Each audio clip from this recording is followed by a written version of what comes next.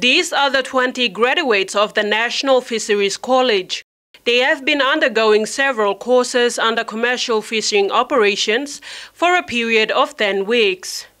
Ernst Arin is amongst the graduates and finds the training effective to build his career in commercial fishing operations. Uh, something like uh, net mending, uh, sea survival, onboard fishing. Uh, mibla go out to Solwara since uh, one week. Mibla go making practical, mibla allow to catch fish.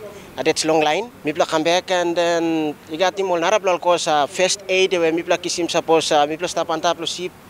Sampla plumibla kisi bagara po one help mibla yet first aid mibla kisim. Two females are amongst these graduates, including Matilda Kulala. She says being a woman is a challenge, especially in fishing operations where the industry is dominated by males.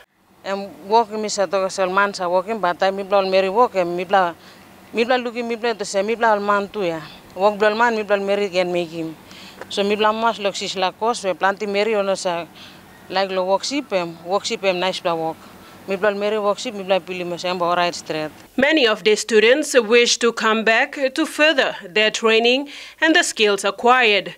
The training is funded by the National Fishery Authority.